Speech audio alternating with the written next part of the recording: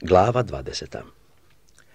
I reče gospod Mojsiju govoreći, još reci sinovima Izraelovim, kogod između sinova Izraelovih ili između došljaka koji se bave u Izraelu, da od sjemena svoga molohu, neka se pogubi. Narod u zemlji neka ga zaspe kamenjem. I ja ću okrenuti lice svoje nasuprot takom čovjeku i istrijebit ću ga iz naroda njegova, što od sjemena svojega dade molohu i zaprzni svetinju moju i oskvrni sveto ime moje. Ako li narod, kako god zatvori oči da ne vidi toga čovjeka kad da od svojega sjemena molohu i ne ubiju ga, ja ću okrenuti lice svoje nasuprot onom čovjeku i nasuprot domu njegovu i istrijebit ću ga i sve koji za njim čine preljubu, čineći preljubu za molohom iz naroda njihova. Ako se obrati k vraćarima i gatarima da čini preljubu s njima, okrenut ću lice svoje nasuprot njemu i istrijebit ću ga iz naroda njegova. Zato posvećujte se i budite sveti, jer sam ja, gospod Bog vaš i čuvajte uredbe moje i vršite ih. Ja sam gospod koji vas posvećujem. Ko opsuje oca svojega i mater svoju, da se pogubi. Opsovao je oca svojega ili mater svoju, krv njegova nanj. A čovjek koji učini preljubu s tuđom ženom, što je učinio preljubu sa ženom bližnjega svoga, da se pogubi i preljubočinac i preljubočinica.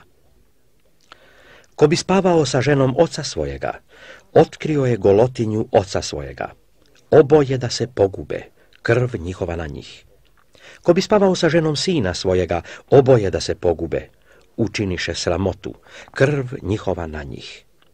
Ko bi muškarca obležao kao ženu, učiniše gadnu stvar obojica, da se pogube, krv njihova na njih. I ko bi uzeo ženu i mater njezinu, zlo je, ognjem da se spali on i one, da ne bude zlo među vama. Ko bi obležao živinče, da se pogubi, ubijte i živinče. I ako bi žena legla pod živinče, ubij i ženu i živinče, neka poginu, krv njihova na njih.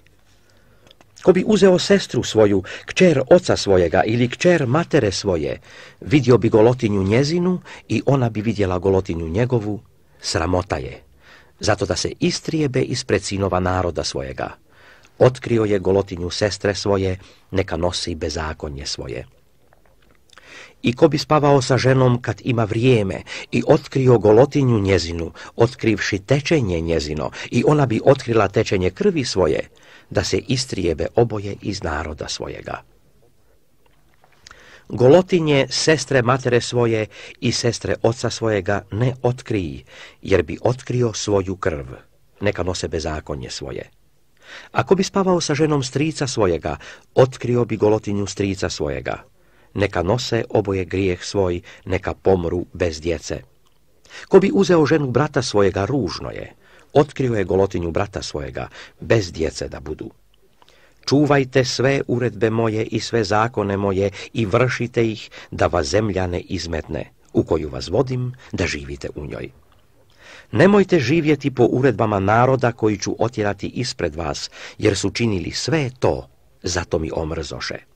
I rekoh vam, vi ćete naslijediti zemlju njihovu i ja ću vam je dati u državu, zemlju u kojoj teče mlijeko i med ja sam gospod Bog vaš koji vas odvojih od drugih naroda.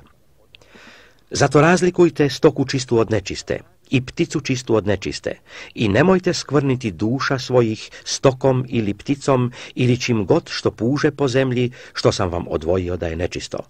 I bit ćete mi sveti jer sam svet ja, gospod i odvojih vas od drugih naroda da budete moji a čovjek ili žena u kojima bi bio duh vraćarski ili gatarski, da se pogube, kamenjem da se zaspu, krv njihova na njih.